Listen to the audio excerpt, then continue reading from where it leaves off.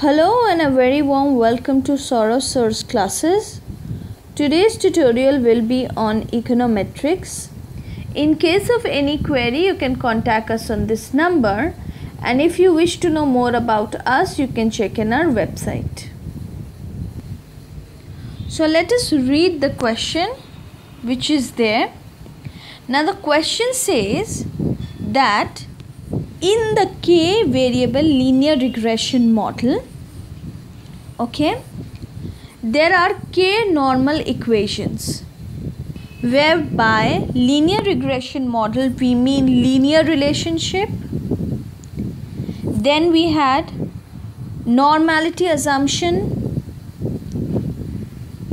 It had the assumption of homoscedasticity no autocorrelation no multicollinearity etc okay and when we say normal equation the equation that minimizes the sum of squares difference between the left and right side okay so uh, after having the recapitulation let us move ahead, move ahead. So it is said in k variable linear regression model there are k normal equation to estimate the k unknown. Okay.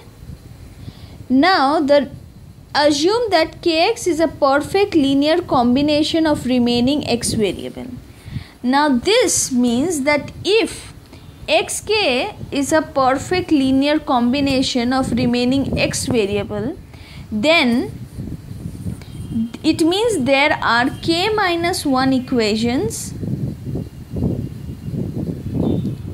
with k unknowns.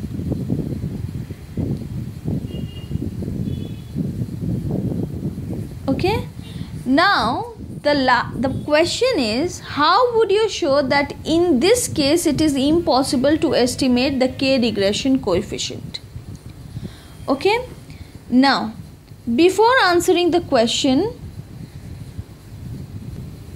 we need to summarize what we have learned so far with regard to simultaneous equation.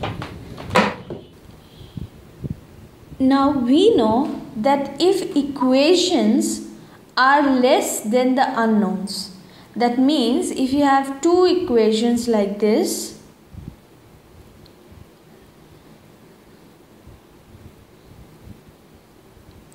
okay so you have two equations but there are three unknowns. Then the system of linear equations or the system of polynomial equation is considered as under determined okay? And if the number of equations are greater than the unknowns then the system is said to be overdetermined.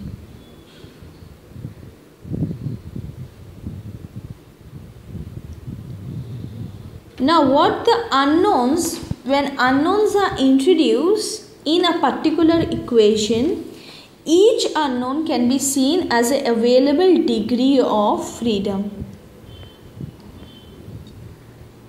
So degree of freedom and each equation is seen or can be viewed as a constraint that restrict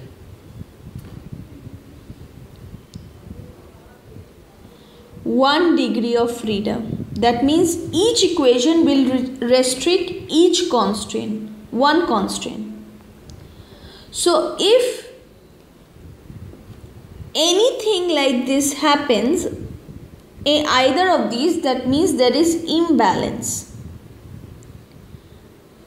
And there will be a complete balance when the number of equation will be equal to the number of unknowns. Now here we have an underdetermined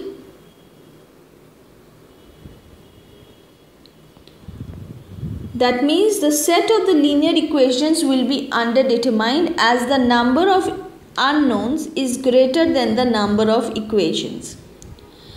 and for such system we will never get a unique solution.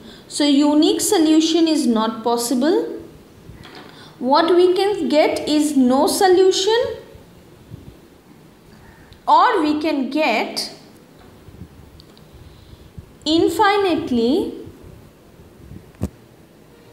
many solutions.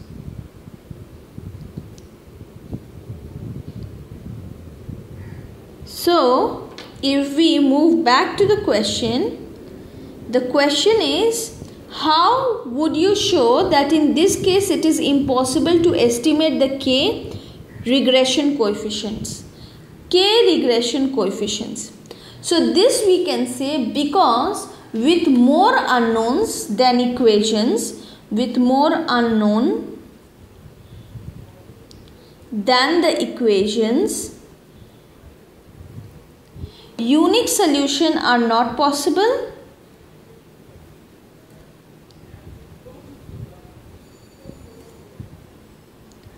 that means it is impossible to estimate the k regression coefficients okay so I hope this short tutorial on econometrics was helpful. If it was then please hit the like button, subscribe to our channel and thank you so much for watching.